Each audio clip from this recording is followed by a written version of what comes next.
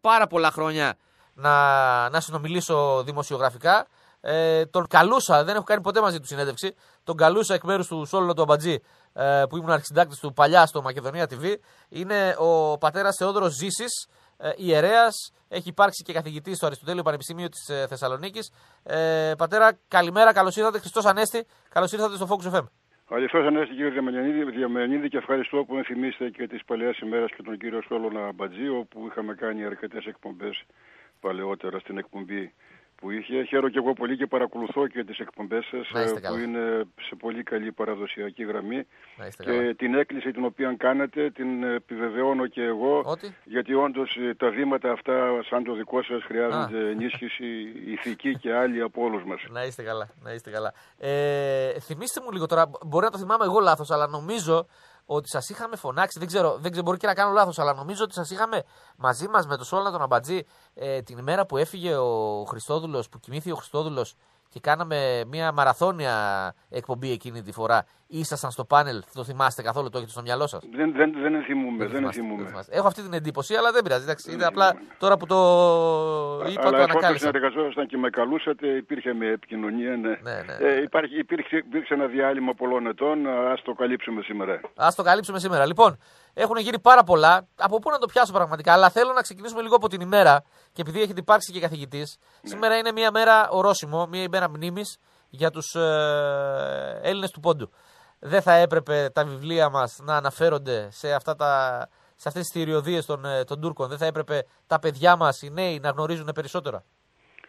Οπο, οπωσδήποτε θα έπρεπε να γίνει αυτό, αλλά βλέπετε υπάρχει ε, ε, σταδιακώς μια, ένας εθνομηδενισμός ο οποίος προχωράει και στα σχολικά βιβλία, αλλοιώνεται η εθνική μας ιστορία. Έχουμε καταγγείλει πολλές φορές και εγώ και άλλοι αναλυτές, ιστορικοί, βυζαντινολόγοι κτλ. αυτήν την αλλίωση ε, της εθνικής μας μνήμης και αυτή η αλλίωση της εθνικής μας μνήμης, ε, η, η εξαφάνιση της εθνικής μας μνήμης που, που παράγεται με τη λέξη εθνομηδενισμός δυστυχώς έχει περάσει και στο θέμα της γενοκτονίας των ποντίων. Εγώ θεωρώ πως θα έπρεπε σήμερα κύριε Γαμιανίδη να, να, να, να χαρακτηριστεί ως αποφράδα ημέρα ε, αυτή η γενοκτονία των ποντίων. Και όπως γιορτάζουμε την 29η Μαΐου του 1453 με την άλωση της Κωνσταντινούπολεως να, να οριστεί ακόμη και στα σχολεία ε, μία, μία ημέρα να εορτάζεται η ημέρα αυτή ε, ο ένας ακμαίος ελληνισμός ο ποντιακός ελληνισμός με πολύ ζωντανά ελληνικά στοιχεία από το παρελθόν, από την αρχαιότητα ακόμη, Σαφώς. αναγκάστηκε να ξεριζωθεί από τον Πόντο. Βέβαια ενίσχυσε εδώ, όπως υπενηχθήκατε, ενίσχυσε ε, την πατρίδα μας στην Ελλάδα, αλλά παρά τα αυτά χάσαμε ε, αυτήν την επέκταση του ελληνισμού που ήταν ε, στην, στην Ασία και στον Πόντο. Είπατε ήταν... ακμάζων πολιτισμός. Πραγματικά είχαν μεγαλουργήσει εκεί στα, στη, στα, στα παράλια της Μαύρης Θάλασσας. Μα ακόμη και από την εκκλησιαστική ιστορία, όχι από την αρχαία Ελλάδα, αν δούμε το καθεστώς εκεί, στην εκκλησιαστική ιστορία ο Πόντος έχει, έχει συνεισφέρει πάρα πολλά, έχει πολλούς Αγίους, πολλούς ιεράρχες, πολλούς εθνομάρτυρες, πολλούς ιερομάρτυρες, πάρα πολλούς Αγίους. σω κάποια φορά θα έπρεπε, αν το είχαμε προγραμματίσει, να μιλήσουμε για τους μεγάλους ποντίους Αγίους. Ίσως στα πλαίσια αυτών των εορτασμών να παρουσιαστούν οι μεγάλοι πόντιοι Άγιοι. Είναι, είναι δεκάδες, εκατοντάδες οι μεγάλοι πόντιοι Άγιοι με την ονομασία μεγάλη. Όχι μόνο οι Καπαδόκες, ο Μέγας Βασίλειος, ο Άγιος Γρηγόριος, ο Νήσης, ο Άγιος Γρηγόριος Θεολόγος, αλλά και πολλοί άλλοι. Οι Άγιοι Θεόδωροι επίσης από τον Πόντο και πολλοί άλλοι προσέφερε πάρα πολλά στην Εκκλησία ο Πόντος και στην νεότερη εκκλησιαστική ε, ιστορία. Μεγάλη εθνική μορφή ο Χρήσαυτος Τραπεζούντος ο οποίος ε, διατέλεσε στη συνέχεια και Αρχιεπίσκοπος Αθηνών και ο οποίος έζησε αυτά τα δραματικά γεγονότα και θα έπρεπε όντως σε κάποιες εκπομπές ε, να παρουσιαστεί αυτή η συνεισφορά του ποντιακού ελληνισμού και, και, και, στην, και από καθαρά εθνικής αλλά και από εκκλησιαστικής επίσης απόψεως. Βέβαια, βέβαια. Γιατί όχι, θα το κάνουμε με την πρώτη ευκαιρία. Ε, θέλω να πάμε σε ένα πολύ σημαντικό θέμα. Το οποίο προέκυψε πριν από λίγες ημέρες και από την πρώτη στιγμή το, το αναλύσαμε εδώ πέρα. Κάναμε κουβέντες ε, γύρω από το τι σημαίνει αυτή η αναγνώριση από πλευράς Οικουμενικού Πατριαρχείου. Ε, η αναγνώριση της σχισματικής εκκλησίας της Ψευτομακεδονίας, των Σκοπίων. Ποια είναι η άποψή σας, ε, πατέρα μου; Κύριε Δεμιανίδη, ε, νομίζω πως ε, ε, έχουμε εξελίξει στο θέμα αυτό ενδιαφέρουσες, ναι. αλλά παρεξηγημένες από κάποιες πλευράς. Όταν ο Οικουμενικός Πατριάρχης στις 9 του μηνός Μαΐου την προπροηγουμένη Δευτέρα, όχι την περασμένη, την προηγούμενη Δευτέρα, συνοδικός αποφάσισε να προχωρήσει σε ευχαριστιακή κοινωνία με την σχηματική εκκλησία των Σκοπίων. Στενοχωρηθήκαμε όλοι διότι θεωρήσαμε ότι πρόκειται για μια επανάληψη της, ε, της προδοτικής συμφωνίας των Πρεσπών. Ήταν δεύτερες πρέσπες διότι ούτως ή άλλως ε, αυτή η αναγνώριση των, των Σκοπίων ε, ενισχύει, ενισχύει την, την, τις, τις επιδιώξεις των Σκοπίων σχετικά με τον αλυτρωτισμό τους και ε, το λάθος που έγινε τότε με την Βόρεια Μακεδονία που θεωρήσαμε πως ο γεωγραφικός προσδιορισμός Βόρεια Μακεδονία ε, μας ικανοποιεί, δεν μας ικανοποιεί καθόλου διότι ξέρουμε όλοι μας ότι στη συνέχεια εξακολουθούν όλοι να λένε Μακεδονία. Ναι. Μακεδονία, οι ποδοσφαιρικές τους ομάδες κτλ. Το ίδιο συμβαίνει και με την εκ μέρους του Πατριαρχείου αποδοχής σε ευχαριστιακή κοινωνία της Εκκλησίας των Σκοπίων. Δηλαδή ουσιαστικώς αναγνωρίζει το Οικουμενικό Πατριαρχείο ότι υπάρχει εκεί ε, ένα έθνος, διότι σε, σε έθνος ε, γίνεται αυτή η ρύθμιση. Υπάρχει ένα έθνος, βέβαια κάνει τη διευκρίνηση στο κείμενο του Οικουμενικού Πατριαρχείου ότι θα χρησιμοποιείται όχι ο όρος Μακεδονική Ορθόδοξη Εκκλησία, αλλά ο όρος Αρχιεπισκοπία Χρήδος. Αλλά όπως έγινε με το Βόρεια Μακεδονία που εγκαταλείφθηκε το Βόρεια και παραμένει μόνο το Μακεδονία όπου και αν βρεθούν οι Σκοπιανοί λένε πως είμαστε Μακεδόνες, το ίδιο ουσιαστικά θα γίνει και λίγο, θα εγκαταλειφθεί η Αρχιεπισκοπία Χρήδος ή θα μείνει μόνο στα χαρτιά και θα εξακολουθήσουν αυτοί να ισχυρίζονται πως είναι η Μακεδονική Ορθόδοξη Εκκλησία. Ναι. Οπότε ουσιαστικώς επαναλαμβάνεται από πλευράς εκκλησιαστικής ε, η συμφωνία των Πρεσπών και εγώ χαίρομαι πάρα πολύ, δεν ξέρω αν σε δική εκπομπή αλλού, ο πατήρ Ηλενός Καρπαθίου ε, χαρακτήρισε την, ε, την ενέργεια αυτή του Οικουμενικού Πατριάρχου ως διπλή προδοσία και εθνική προδοσία και εκκλησιαστική προδοσία διότι όντως περιλαμβάνει ε, και τις δύο πλευρές αυτή η ενέργεια του Οικουμενικού Πατριαρχείου. Ο Πρέ... πατέρας Τηλιανό, εδώ στην εκπομπή στον Focus FM το είπε ακριβώς αυτό, τη διπλή προδοσία, εθνική και εκκλησιαστική. Είπε και κάτι άλλο. Είπε και το ότι περιμένουν να δω ποια θα είναι η στάση των ε, Μακεδόνων ε, ιεραρχών. Καμία στάση, καμία ανακοίνωση. Δεν ε, υπάρχει, υπάρχει κάποια, κάποια εξέλιξη, αλλά προς την αντίθετη κατεύθυνση, κύριε Δαμιανίδη. Oh, oh, oh, ναι. Δηλαδή, θα πληροφορηθήκατε ότι ε, προχθές η, η Εκκλησία της Σερβίας περιμέναμε πώς θα αντιδράσει η Εκκλησία της Σερβίας. Ναι διότι τα Σκόπια ήταν στη δικαιοδοσία εκκλησιαστικά της Εκκλησίας της Σερβίας. Και αγωνιούσαμε όλοι πώς θα αντιδράσει η Εκκλησία της Σερβίας και διεδίδοντο διάφορες εκτιμήσεις ότι θα αποδεχθεί αυτό που έκανε το Οικουμενικό Πατριαρχείο ή θα αντιδράσει. Η Εκκλησία της Σερβίας ε, πήρε μια απόφαση με την οποία ε, ουσιαστικά ε, αδειάζει το Οικουμενικό Πατριαρχείο. Δηλαδή ε, στο κείμενό της, αν δεν το έχετε μπροστά σας, εγώ έχω το, το, το κείμενο μπροστά μου της Εκκλησίας της Σερβίας. Τι λέει; Λέει ότι επειδή ε, οι Σκοπιανοί επίσκοποι ουσιαστικώς ε, ζήτησαν μετάνοια από τη Σερβική Εκκλησία και δέχονται το καθεστώς της αυτονομίας τους οποίους είχε χορηγήσει η Σερβική Εκκλησία το 1959. Δέστε, τους είχε χορηγήσει καθεστώς αυτονομίας το 1959, το οποίο δεν δέχθηκαν τότε οι Σκοπιανοί. Και αφαιρέτως το 1967 μόνοι τους μονομερός κήρυξαν αυτοκέφαλη τη δική τους εκκλησία και προκάλεσαν βέβαια το σχίσμα. Τώρα λοιπόν ε, ε, δέχονται να επανέλθουν στο καθεστώς της, ε, της δικαιοδοσίας της αυτόνομης του 1959, επομένως εντάσσονται στη δικαιοδοσία της Σερβικής Εκκλησίας. Με βάση λοιπόν το ότι οι Σκοπιανοί εντάσσονται στο καθεστώς, σε αυτό το καθεστώς που τους είχε χορηγήσει η Σερβική Εκκλησία, η Σερβική Εκκλησία λέει ότι ε, αφού αποδέχονται ουσιαστικώς εκείνο που τους δώσαμε, εμείς ε, προχωρούμε και εμείς σε ευχαριστιακή κοινωνία, αλλά η, η πράξη τους αυτή και η απόφαση δηλώνει ότι κακό το Οικουμενικό Πατριαρχείο πρόλαβε, πρόλαβε και ενήργησε πριν δεχθούμε εμείς, διότι δική μας είμαι, εμείς τους χορηγήσαμε τη διευρυμένη ε, αποκαταστασία, επανέρχονται σε εμά και ε, ε, δεν, δεν αποδέχονται πλέον την μονομερή δηλαδή ουσιαστικώς αδειάζει το Οικουμενικό Πατριαρχείο, ναι, η Εκκλησία της Σερβίας. Και, και στο θέμα αυτό να σας πω μάλιστα ότι υπήρξε μια κατά την εκτίμησή μου κακή αντίδραση ενός Μακεδόνος ε, ιεράρχου, ναι. του Μητροπολίτου Σιδηροκάστρου. Σήμερα είδα το κείμενό του στο διαδίκτυο εκεί.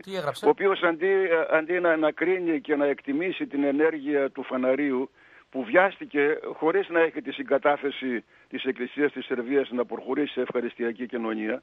Έπρεπε πρώτα η Εκκλησία της Σερβίας, την οποία ανήκουν τα Σκόπια εκκλησιαστικά, να, να, να προχωρήσει και μετά το Οικουμενικό Πατριαρχείο. Ναι. Εδώ λοιπόν έρχεται ο Μητροπολίτης Ιδροκάστρου και αντί ας πούμε να κρίνει ότι ε, έτσι, έπρεπε, έτσι είναι η κανονική σειρά. Η Εκκλησία της Σερβίας επικρίνει την Εκκλησία της Σερβίας. Διότι ουσιαστικώς λέει καρφώνει το Οικουμενικό Πατριαρχείο και υποτιμά τον ρόλο του Οικουμενικού Πατριαρχείου. Μα το Οικουμενικό Πατριαρχείο έχει μια συγκεκριμένη δικαιοδοσία. Όπως δεν έπρεπε να επενδύσει στην Εκκλησία της Ουκρανίας και να προκαλέσει ακόμη και ηθικά αυτή την αναστάτωση και την πολεμική σύγκρουση, η οποία λόγω αυτού του σχίσματος και της διενέξεως είχε προχωρήσει, το ίδιο πρόλαβε χωρίς να εκδηλωθεί η Σερβική Εκκλησία να έρθει σε ευχαριστιακή κοινωνία. Τώρα λοιπόν γι' αυτό και σήμερα αν θα έχετε πληροφορηθεί ενώ είχε εξαγγελθεί ότι θα γίνει συλλήτουργο του Αρχιεπισκόπου των Σκοπίων Στεφάνου με τον Οικουμενικό Πατριάρχη, Ναι. η Εκκλησία της Σερβίας προλαβαίνει, σου λέει αν θα γίνει συλλήτουργο, αφού, απο, αφού αποκαθίστανται και δέχονται αυτή την αυτόνομη, το καθεστώς της αυτονόμου που τους είχαμε χορηγήσει, σήμερα στο Βελιγράδι, στο ναό του Αγίου Σάβα, ε, γίνεται συλλήτουργο ανάμεσα στην Σερβική Εκκλησία και, στην, ε, και στους σχισματικούς των Σκοπίων. Άρα, άρα αυτό που μας αφήνει μας, ε, πατέρα. Α, είναι, είναι προβληματικό πάλι, αλλά εν πάση περιπτώσει δηλώνω στο κείμενό τους οι, οι Σέρβοι ότι Ναι. ε, θα πρέπει στο εξής ό,τι γίνει για να χορηγηθεί δηλαδή αυτοκεφαλία στην Εκκλησία των Σκοπίων. Δεν χορηγήθηκε αυτοκεφαλία όπως έγινε στην Ουκρανία που βιάστηκε ο Οικουμενικός Πατριάρχης. Απλώς αποκαθίσταται η ευχαριστιακή κοινωνία, δηλαδή ουσιαστικώς εισάγεται η Εκκλησία των Σκοπίων με το βήμα αυτό στην δικαιοδοσία της Σερβικής Εκκλησίας. Και αναλαμβάνει πλέον τώρα η Σερβική Εκκλησία ως κανονική εκκλησία που έχει δικαιοδοσία στα, στα, στα Σκόπια, αναλαμβάνει αυτή τα περαιτέρω.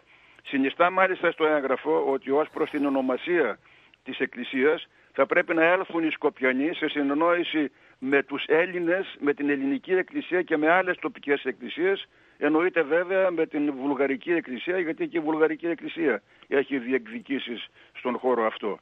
Δηλαδή ε, ουσιαστικώς ε, επειδή υπήρξαν παρεξηγήσεις ότι δήθεν ε, ε, υπέκυψε και η Σερβική Εκκλησία ε, στο φανάρι δεν υπέκυψε, ε, αντίθετα υποδεικνύει τον ορθό δρόμο και επιτυχάνει τον ορθό δρόμο Αυτοί το με τον οποίο επιδεικνύουν, πρέπει εμείς τι να κάνουμε. ρυθμιστεί το κανονικό καθεστώς ε, των σχισματικών επισκόπων ε, των Σκοπιών. Εμείς αυτό που βλέπουμε πάντως είναι, πατέρα Ζήση, το Οικουμενικό Πατριαρχείο και όλους εδώ τους δικούς μας να ακολουθούν το λάθος δρόμο από ό,τι αντιλαμβάνομαι. Αυτό καταλαβαίνω εγώ. Δυστυχώς, δυστυχώς. Είμαστε στενοχωρημένοι όλοι γι' αυτό. Αυτό καταλαβαίνω. Ε, διο- διότι ενώ θα έπρεπε το Οικουμενικό Πατριαρχείο ως έχοντας τον συντονιστικό ρόλο, ο Οικουμενικός Πατριάρχης ως πρώτος μεταξύ ίσων, τώρα βέβαια θέλει να είναι πρώτος άνευ ίσων και ακολουθεί τον Πάπα, πρώτος Ναι. χωρίς ίσους, θα έπρεπε αυτό να τηρεί την κανονική οδό και την κανονική τάξη, παραβαίνει τους κανόνες της Εκκλησίας και δημιουργεί αυτές τις καταστάσεις Μάλιστα. μέσα στην Εκκλησία. Ήδη βρισκόμαστε σε πολύ άσχημη κατάσταση. Οι Ρώσοι έχουν κόψει τη μνημόνευση των ονομάτων του Οικουμενικού Πατριάρχου του, της Εκκλησίας της Ελλάδος, της Εκκλησίας της Κύπρου, της Εκκλησίας της Αλεξανδρίας. Ουσιαστικώς δηλαδή δημιουργούμε σχίσματα και πάλι και, και δημιουργήθηκε σχίσμα στην Εκκλησία της Ουκρανίας.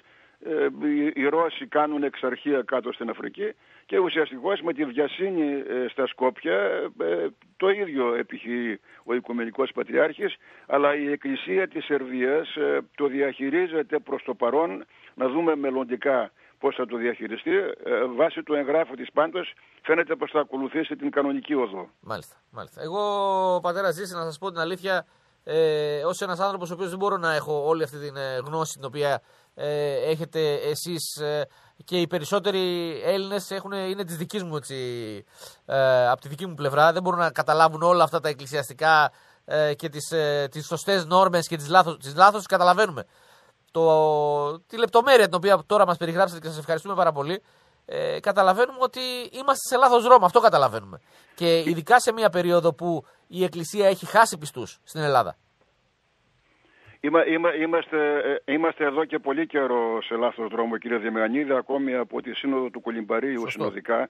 Σωστό. Ε, ουσιαστικώς ε, από τότε επιδεινώθηκαν τα εκκλησιαστικά πράγματα. Από τότε τέσσερις εκκλησίες δεν έλαβαν μέρος στη Σύνοδο διαμαρτυρόμενες για όσα ετοιμαζόταν να γίνουν στη Σύνοδο.